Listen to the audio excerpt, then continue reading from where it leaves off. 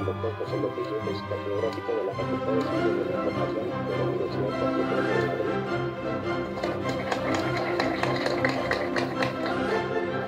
Vamos a ceder el micrófono a la doctora Margarita Ramírez Luna.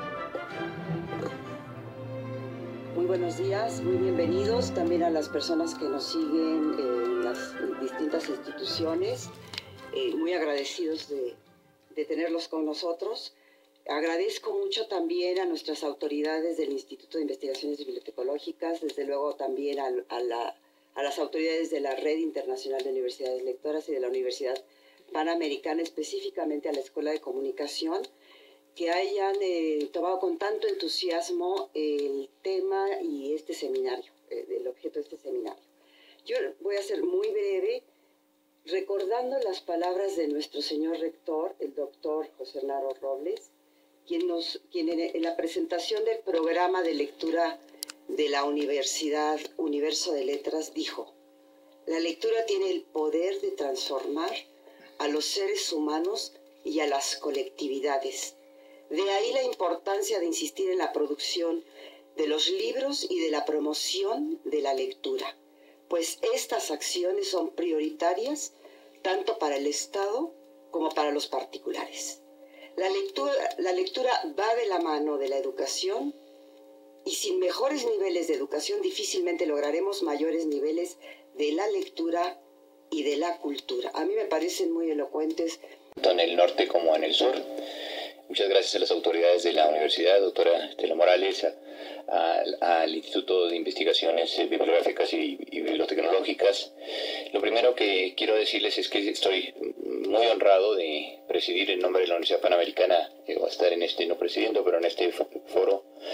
Eh, y una pues una idea que me viene inmediatamente es agradecer a la, a la UNAM tanto, tanta generosidad en, en, el uso o en las fuentes de información que yo he, he podido utilizar en mis propias investigaciones. Creo que cuando alguien eh, le encarga a la universidad la parte administrativa o una gestión administrativa viniendo de la investigación y de la enseñanza, como es mi caso, eh, les puedo decir que los agradecimientos y los sentimientos cuando uno llega a estas instituciones son, son muy, muy intensos.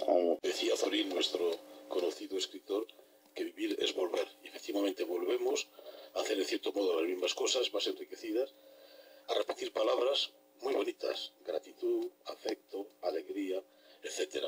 soy un aficionado al tema de la lectura. Yo he bebido el veneno que la doctora Elsa Ramírez me aplica de vez en cuando y me estoy reconvirtiendo a la verdadera fe, a la verdadera fe del estudioso y del interesado por este tema tan trascendental que es la lectura. Es tan importante la lectura que lo primero que hacemos con nuestros hijos y nietos es mandarlos a un sitio para que aprendan a leer. Me imagino que por algo, por algo será. En nuestro caso, la lectura, la lectura y, lo que llamamos lectura crítica es la única base que permite reflexionar sobre lo que dicen los textos y obtener las nuevas ideas. Porque en los textos, en las fuentes, está el semillero que hace posible que se encienda la chispa, el fruto de la reflexión entre el pensamiento del que está leyendo y lo que dicen, lo que dicen los textos. Yo estoy muy contento porque por haber contribuido muy modestamente a que estas dos importantes universidades estén ahora mismo colaborando juntas. Sin duda, el AUNAN es uno de los principalísimos focos de, de, investigación en el tema de la lectura, como todos ustedes saben, y la red de, de, de, universidades lectoras yo creo que está haciendo un papel muy interesante a nivel, a nivel mundial. Ahora tenemos también la satisfacción de contar con, la, con el concurso de la, de la Universidad Panamericana y creo que todo esto pues, va a ser una fuente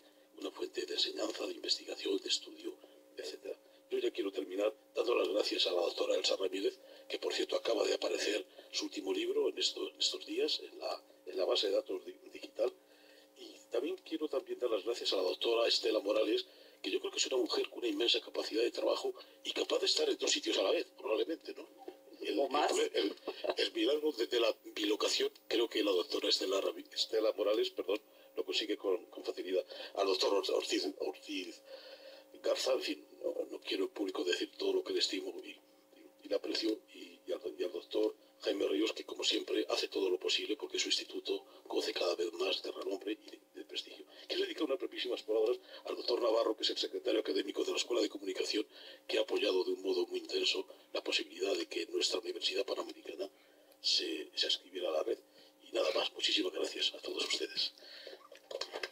Gracias, como siempre es un gusto estar eh, en estas eh, reuniones académicas que nos permiten encontrarnos con amigos, pero también con ideas y con reflexiones. Eh, nuestra universidad agradece mucho a todos los que nos están siguiendo por los medios electrónicos, los canales de Livestream, Ah, y las universidades que hasta ahorita se están conectando ya con nosotros, que es la Autónoma de Chiapas y el Instituto Tecnológico de Mexicali. O sea, tenemos representados el norte y el sur, lo cual nos da muchísimo gusto y qué bueno que nos están acompañando. Eh, también quiero mencionar que tenemos un grupo muy importante de ponentes de instituciones españolas y por supuesto varios invitados eh, nacionales. Como ya se dijo, eh, todo esto, esta reunión de lectura y sobre lectura, sobre todo la enseñanza de la lectura, eh, ha sido posible gracias a investigadores que se dedican a este tema. Y en esta ocasión los coordinadores han sido el doctor López Yepes y la doctora Elsa Ramírez, pero no debemos dejar de mencionar esta red de universidades lectoras, que es la que también ha tejido sus hilos para que esta reunión se lleve a cabo. Para nuestra universidad es muy importante eh, tener en esta acción, eh, ya llevamos varias, a la Universidad Panamericana. Eh, tenemos aquí dos personas muy distinguidas que vienen a acompañarnos de la, de la Escuela de Comunicación, su director y otro colega que tenemos acá.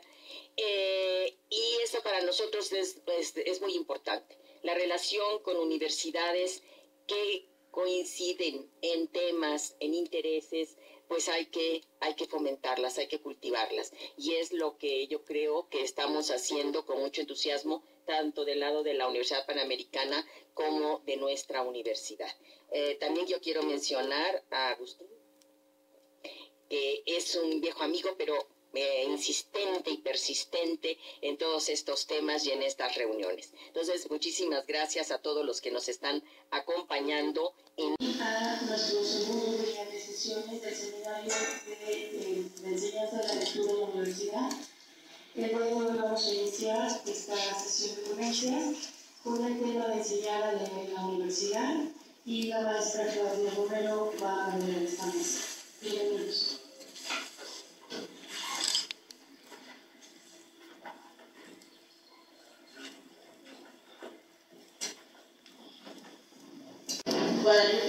Guadalupe Casuara Forcellero, de la Universidad Juárez Autónoma de Tabasco, al doctor Ángel Suárez Muñoz, de la Universidad de Extremadura, a la doctora eh, Marbella Villalobos Torres, de la Escuela de Pedagogía de la Universidad Panamericana.